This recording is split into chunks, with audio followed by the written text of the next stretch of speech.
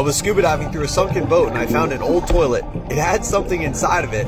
Comment below what you think it is. Wrong answers only.